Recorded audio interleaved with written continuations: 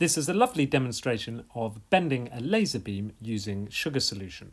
And the sugar solution increases in concentration as we go down, and that means that the refractive index increases, which is why the laser beam bends.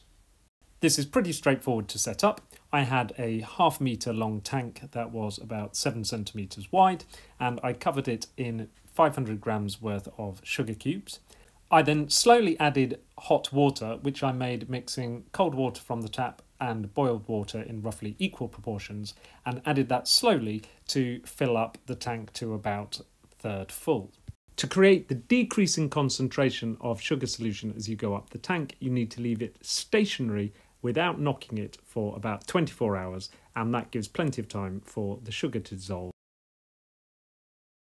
If you have very clean water, you may need to add a tiny bit of milk to give something for the laser light to scatter off, but the lab water was dirty enough for me that that wasn't necessary. And hopefully you agree that this makes a fun physics demonstration to show your students.